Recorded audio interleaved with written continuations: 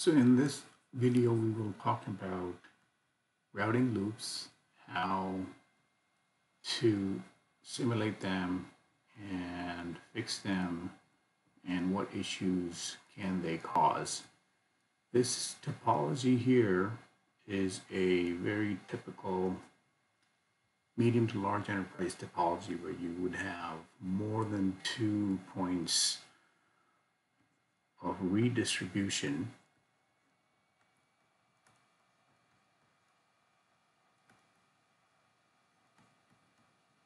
between OSPF and BGP. So in this setup, I've got six routers, you know, a, a scaled down version of how you would notice medium to large enterprises. And they would be running OSPF BGP with mutual redistribution.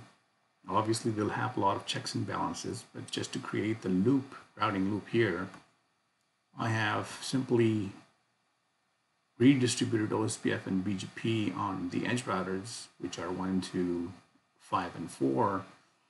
3 and 6 are not running BGP. There is so all of these are, routers and links have OSPF enabled. And there's also an IBGP link between 1 and 2 and IBGP link between 4 and 5. This is the routing design in place, redistribution on four routers, and I'm running trace routes on three, from three towards six and from, from six towards three. And I'll show you, uh, and I'm running the scripts. And you'll see they'll, you know, three is able to get to six in a few hops and vice versa. And then we'll, you know, the route re redistribution is there, the routes are stable at this point in time. And then what we'll do is we're going to create a disturbance in the network by pausing router 4 and that's going to simulate the fact that it rebooted or the links rebooted or there was a flap and then see how this network behaves and how the routing loops and flaps will reveal themselves and how to detect them. So how to detect route instabilities, right? So instability, we, you know, in, in an easy, quick fashion so that you know there is something wrong and then you will go and troubleshoot. And there's a lot of ways to fix this, like, you know, prefix lists and tags and, and admin distance. So we'll, we'll try to you know, what I've done is I've got a script running on these four routers, which reveals or shows the route every uh, every second or two seconds just to show the instability. And I've got scripts running where I'll set the admin distance for OSPF external routes to be 255. And that 255 basically means they're least preferred. BGP, remember eBGP is 20, admin 20. So you should see 333 learned by 5 with admin distance 20 and 666 learned by 1 and 2 by admin distance 20. And we'll take a look at that stuff. But this is the current state where the route is stable, routing is stable, and we will, you know, toggle this guy will create instability in the network by pausing for and then bringing it bringing it back up and see how the routing starts flapping.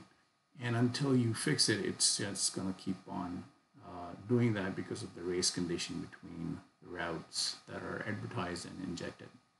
So I am going to bring you uh, the consoles. And here they are. And the trace routes are running here, three hops. Trace routes is running on three and six with three hops only. And I am going to show you show IP route.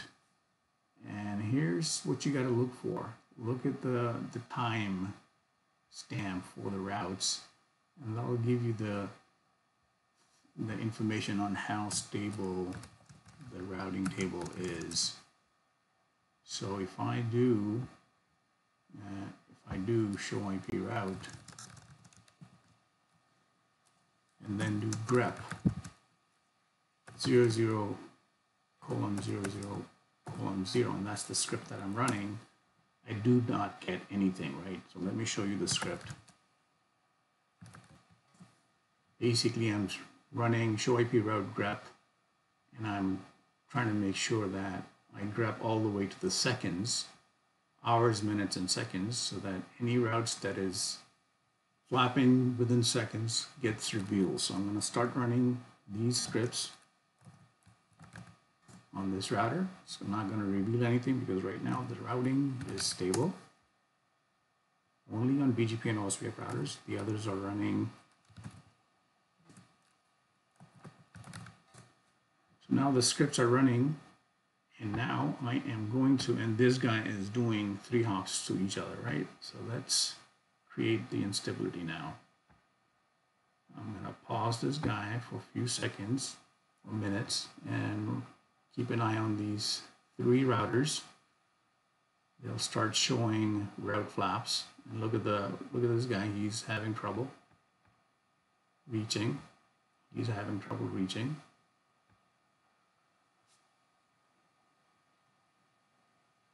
as soon as the route starts flapping in between these four routers, BGP OSPF routers, I will bring this router back on. It's paused right now. And give it a couple of seconds. There you go. The first one popped here. Two seconds, five seconds. And I am going to bring this guy back online. It, just pretend that it rebooted these these will start popping too because they're talking BGP, so BGP takes a little more time. And let's bring this guy back on. The race condition should really come. There you go. This guy starts, the BGP has flapped here, three seconds, BGP flapped here, OSPF flapping here still. And now that we can see the route, the trace routes is going longer than three hops and the route instability has started, right? So now you can see the routes are getting flapped and they're not stable between OSPF and BGP. They're just flapping and flapping and flapping. And that's what typically causes intermittent connectivity in, in networks. Sometimes they will work, sometimes they will not work. It all depends how quickly the route flapping or route packets are getting to their destination or gateways. But as you can see, the routes are flapping. They're not stabilizing. They're like within seconds, and they get refreshed from another update. OS, between OSPF and BGP, they're just flapping on all the four routers, even this one.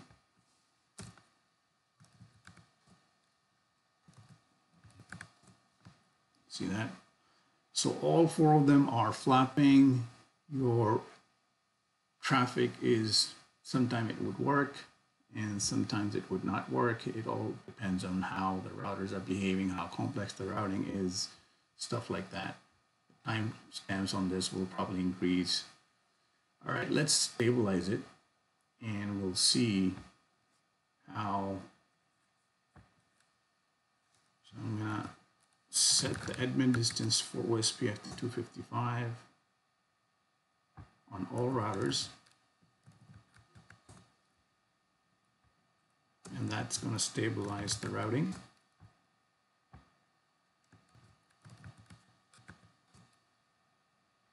All right, let's kick in, see that guy? And let's start monitoring again.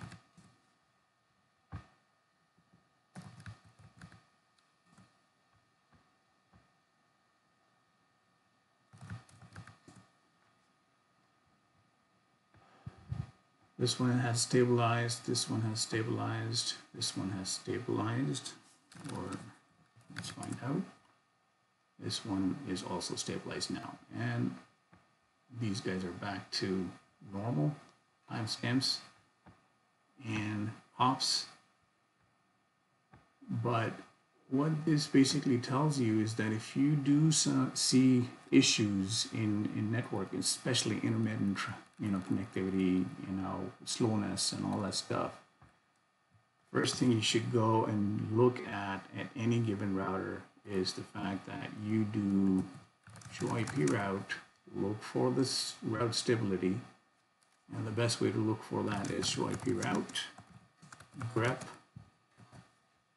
Typically, it's going to be three octets with hours, seconds, minutes, and seconds. So you're going to grep hours. You're looking for unstable route, unstable route. So you're going to look at for things that are getting refreshed by the second. So you're just gonna not gonna put the second one, but just like that.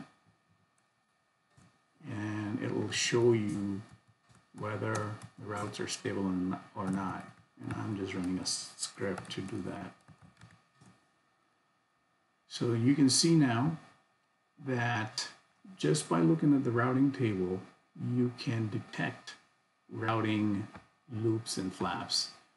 And that is a very typical situation and scenarios uh, in any medium to large enterprises where you've got two or more point of redistribution between OSPF, BGP, or for that matter, any any IGP. This could be more than two, uh, you know, protocols, OSPF, EIGRP, or any other protocol getting into BGP and then BGP going back into each other and it's a it's a complex situation to fix it. And you know, here I'm fixing it by uh, the admin distance. What I'm doing is I'm just fixing the OSPF external routes, external routes to 255. So, and basically 255 pretty much means ignore, don't look at the external routes and prefer the BGP routes. Can do that if you know that the external routes are only coming from known points or you can filter them. But typically in, a, in an enterprise you will be using prefix lists or tags. And I will put a couple more videos using prefix list tags. This one obviously I'm using tags. I'm using admin distance and the config for that is pretty straightforward show configuration protocols. Here it is, distance OSPF external 255. That's my script is going to look like this.